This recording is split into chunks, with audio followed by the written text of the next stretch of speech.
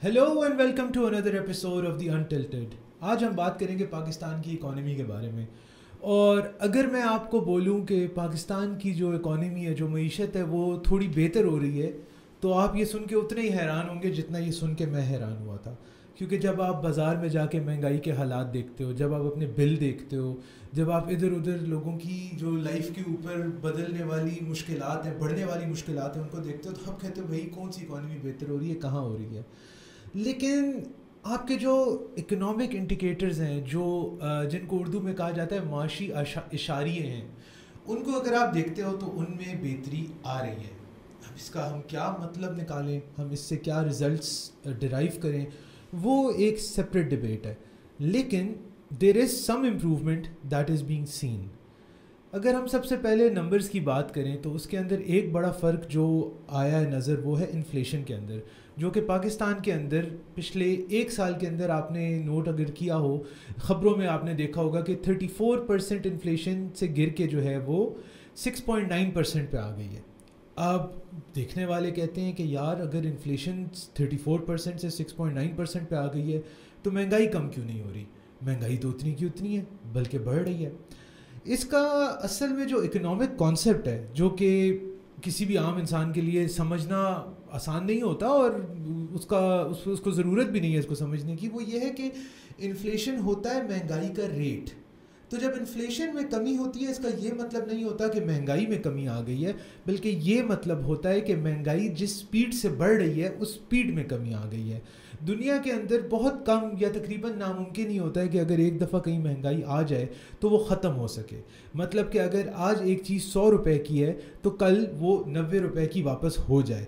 उस कॉन्सेप्ट को डिफ्लेशन कहा जाता है। तो हाँ अगर आपके मुल्क के अंदर डिफ्लेशन आ जाए तो आप ये कह सकते हो कि महँगाई ख़त्म हो गई है या महँगाई या सस्ता, चीज़ें सस्ती हो गई हैं।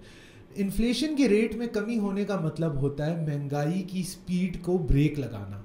और दुनिया का जो इकोनॉमिक मॉडल है, या एटलीस्ट पाकिस्तान की हद तक जो इकोनॉमिक मॉडल है, उसके अंदर हम लोगों के लिए फॉर अ स्टार्ट अचीवमेंट यही होती है कि हम इन्फ्लेशन रेट के ऊपर काबू पा सकें। ये तो जी बात हो गई महँगाई की और इन्फ्लेशन की। इसके बाद अगर हम आए अगली चीज़ के ऊपर जिस नंबर के अंदर बेहतरी देखने को मिली है तो वो है आपका इंटरेस्ट रेट अभी कुछ दिन पहले ही हमारी नई मॉनेटरी पॉलिसी का ऐलान हुआ और उसके अंदर इंटरेस्ट रेट जो शरह सूद होती है, उसमें दो परसेंट कमी की गई है. अब इस दो परसेंट कमी के बाद जहाँ हम तकरीबन छः माह पहले बाईस तेईस परसेंट के इंटरेस्ट रेट पर बैठे थे तो वो अब आ गया सत्रह परसेंट के ऊपर. इंटरेस्ट रेट के कम होने का मतलब ये होता है कि अगर आप बैंक से कर्ज लेते हैं या आप बैंक से कोई गाड़ी लीज करते हैं या कोई घर कर्जे पे लेते हैं तो उसके ऊपर आपने जो इंटरेस्ट पे करना है, उसके रेट में कमी होना। दुनिया के अंदर जितने भी डेवलप ममालिक हैं, उनके अंदर सिंगल डिजिट इंटरेस्ट रेट होता है। अमेरिका, यूरोप यूके वगैरह में पाँच छः परसेंट इंटरेस्ट रेट को बहुत बड़ा नंबर समझा जाता है। लेकिन पाकिस्तान के इस वक्त अंदर, इस वक्त ये सेवनटीन परसेंट के ऊपर है।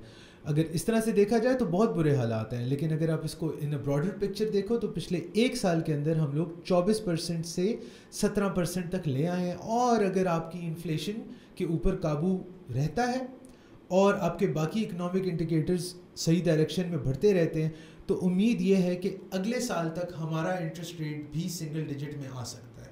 Again for a common layman interest rate में कमी हो गई, मुझे क्या फ़र्क पड़ता है? लेकिन फ़र्क इस तरह से पड़ेगा कि आपकी कारोबारी जो तबका है, वो और ज़्यादा बैंक्स के साथ काम कर सकता है, आपकी इंडस्ट्री दोबारा चल सकती है और उसकी बेसिस के ऊपर आपकी जो कंस्ट्रक्शन इंडस्ट्री है रियल इस्टेट इंडस्ट्री है, इनके अंदर दोबारा से थोड़ी जान भरी जा सकती है।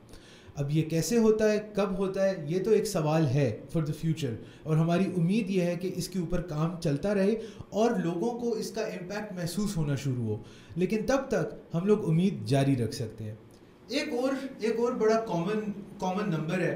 एक कॉमन फैक्टर है जिसके ऊपर हुकूमतें अक्सर कहती हैं कि यार, हमने पेट्रोल सस्ता कर दिया और पिछली हुकूमत ने पेट्रोल महँगा रखा था। अब बात इतनी सी है कि पेट्रोल सस्ता होना और पेट्रोल महँगा होना, इस दोनों में, इन दोनों चीज़ों में आपकी जो गवर्नमेंट है, उसका कोई कमाल नहीं होता। अगर इंटरनेशनल मार्केट में ऑयल प्राइसेस ऊपर जाती हैं तो पेट्रोल महँगा हो जाता है, और अगर नीचे जाती हैं तो पेट्रोल सस्ता हो जाता है। लेकिन इसके अंदर एक अगर हम उम्मीद की किरण देखें तो वो ये है कि पिछले साल पाकिस्तान में पेट्रोल तीन सौ लीटर था, और इस वक्त दो सौ के ऊपर है। अब ये एक कमी है जिसके अंदर हम कह सकते हैं कि चलो यार इंटरनेशनल रेट गिरा है ऑयल का तो हमने भी गिरा दिया। लेकिन इसके साथ अगर आप इस चीज़ पर गौर करो कि पिछले साल से लेकर अब तक आपका डॉलर स्टेबल रह गया और डॉलर का रेट मेंटेन हुआ है और उसके बावजूद पेट्रोल सस्ता हुआ है तो ये फिर भी एक उम्मीद हमें दे सकता है। क्योंकि अगर आज डॉलर 278 280 की जगह 320 रुपए का होता तो यही पेट्रोल की प्राइस जो 247 की आपको मिल रही है, ये शायद 300 310 रुपए पर लीटर पे मिल रहा होता। तो अगेन अगर हम लोग थोड़ी सी अच्छी पॉजिटिव खबर ढूँढने की तलाश में निकलें तो हम इस चीज़ के ऊपर भी किसी हद तक रिलाई कर सकते हैं। अगर हम पाकिस्तान की एक्सपोर्ट के ऊपर आते हैं तो जो अभी लेटेस्ट फिगर्स आए हैं, उनके मुताबिक पिछले साल सितंबर 2023 में पाकिस्तान की जो एक्सपोर्ट थी, वो थी 2.4 बिलियन डॉलर्स की और सितंबर 2024 के अंदर आपकी एक्सपोर्ट रिकॉर्ड हुई है 2.8 बिलियन डॉलर्स की।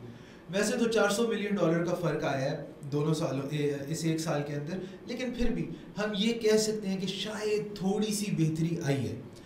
अब ये सारी बातें जो मैंने आपके आगे जिन चीज़ों की गुजारिश की है, इसका मतलब हरगिज़ ये नहीं है कि मैं बड़ा खुश हूँ हुकूमत की परफॉर्मेंस से, या हमारी इकोनॉमिक पॉलिसी से, या हमारे इकोनॉमिक हालात से, या मैं ये क्लेम कर रहा हूँ कि हमारे हालात ठीक हो गए हैं। और सब बहुत हंकी डोरी हो गया। बिल्कुल भी नहीं। मैं सिर्फ़ यहाँ पर, क्योंकि उतना ही उतना ही इंसान फिक्रमंद होता है, जितना कोई भी होता है, उतना ही मैं हूँ।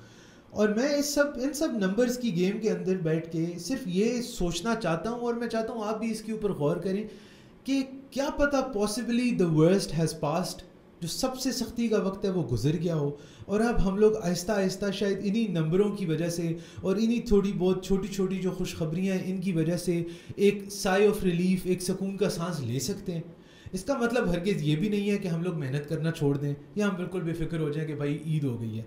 ईद नहीं हुई, अभी बड़ी मेहनत करनी बाकी है, अभी हम लोगों की अकाउंटेबिलिटी होनी बाकी है, अभी हम लोगों ने अपने इदारों से सवाल करना बाकी है कि आप अपने ख़र्चों पे काबू कब पाओगे, क्योंकि जो भी बेहतरी आएगी अगर वो फिर उन्हीं चीज़ों पे ज़ाया हो जाए जिन पे होती रही है तो फिर तो कोई फ़ायदा ही नहीं है। लेकिन अगर ये बेहतरी सिंसेरिटी के साथ आती है और हमारी आवाम अपनी मेहनत जारी रखती है और ये सख्ती कुछ और अरसा बर्दाश्त कर लेती है तो क्या पता क्या पता हमारे हालात थोड़े बेहतर हो ही जाए। Thank you so much